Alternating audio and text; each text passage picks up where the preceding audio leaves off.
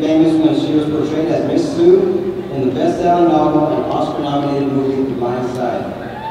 The film tells the story of how Sue Mitchell, serving as a tutor, turned around the academic life of a high school student and then opted to make the dean's list in college before he went on to become, become a National Football League star.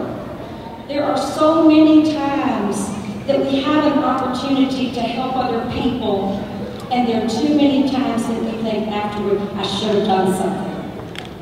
You do something when that time comes because it feels so good, just like SJ said.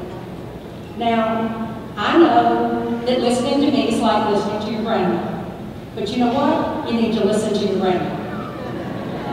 And my wise words to you are that the things that I've done for myself have been fun and mostly beneficial.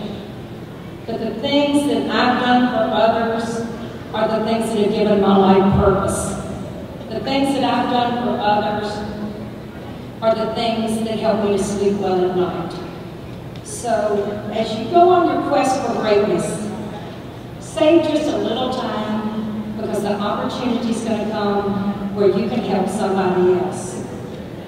I congratulate you for your accomplishments. I applaud you. You need to pat yourself on the back and just remember one thing. Sometimes you just gotta be nice.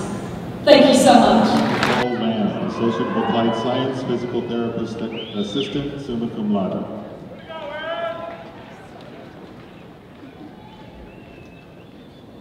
Tina Helena Louise, or Lewis, Associate of Applied Science, Library Technician, Phi Theta Kappa, summa cum laude.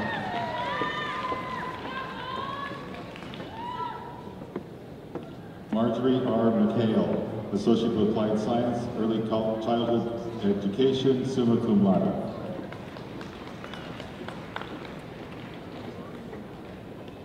Kimberly Ann Mullenhour,